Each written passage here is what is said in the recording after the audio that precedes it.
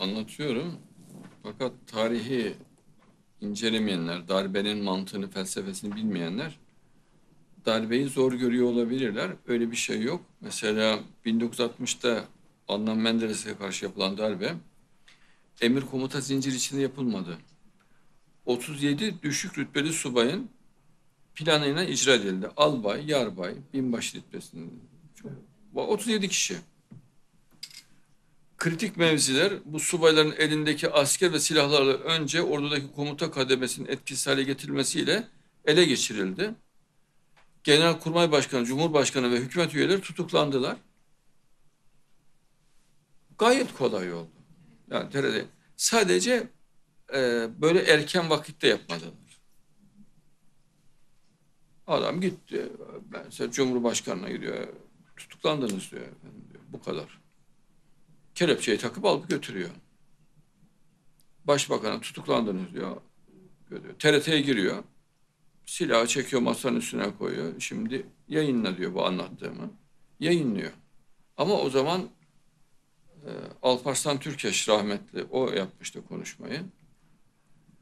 E, yani gayet kolay olmuştu. Darbeciler yani öyle biz yenildik vazgeçiyoruz falan pek demezler. Yani o pek görülmüş bir şey değil onu söyleyeyim. Yani işte tutuklanmış bilmem adam hiç umurunda bile olmaz. Hatta tutuklananları kurtarmak ister onun için bile darbe yapabilir. Yani tutuklanan çok fazla adam varsa der bir darbe yapalım da bunları çıkaralım der. Mesela Talat Aydemir de darbe yapmaya kalktı. Yani yüksek rütbeli bir subay değildi. Bildiğim kadarıyla albay rütbesindeydi. Talat Aydemir. Bir yaptı, başarısız oldu. Gitti bir daha yaptı. Deneme yapıyor yani.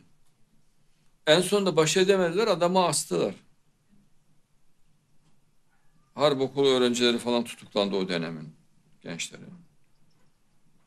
Yani darbeciler inatçıdır zannedildiği gibi olmaz. Yani bu rehavet bence hiç normal değil. Böyle bir şey yanlış. Mehdiyetle, akılcılıkla Mehdi derken ona illa bir şahıs değil. Yani Mehdiyet ruhu, birliktelik ruhu. Mehdi'yi biz bulamamış olmamız Mehdiyeti uygulamamızı engellemez. Mehdiyet bir ruh, bir felsefedir.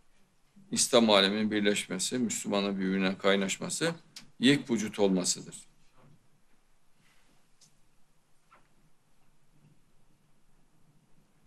Harp okulu komutanıydı Talat Aydemir. Kurmay albaydı. Bir avuç askerle yaptı darbeyi. Ben hatırlıyorum küçük çocuktum. Bizim evin üstünden de hatta jet uçağı uçmuştu. Annem yine darbe yaptılar herhalde falan. Biz o kadar alışmışız ki demek ki.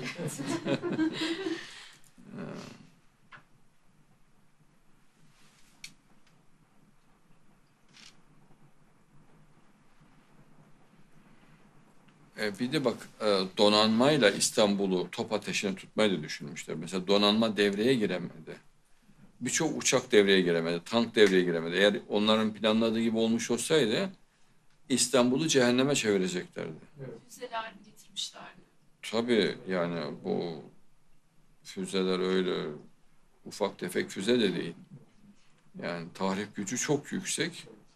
Uzun menzilli roketler onlarla şehirleri bombalayacaklardı. Yani akıl almaz bir katliam, akıl almaz bir dehşet düşündüler. Yani bütün Anadolu'yu cehenneme çevirmeyi düşündüler. İşte göklerin gökten başlarına ateş yağsın diyor ya Fethullah Gülen. Evleri yıkılsın diyor. İşte kastettiği bu.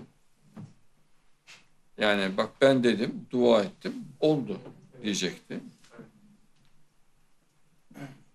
Yani hocanın duası olduğu yere getireceklerdi.